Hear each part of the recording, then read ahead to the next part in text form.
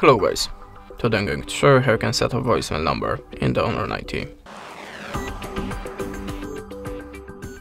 So on the first step open the color app, tap on the three dot icon and choose settings.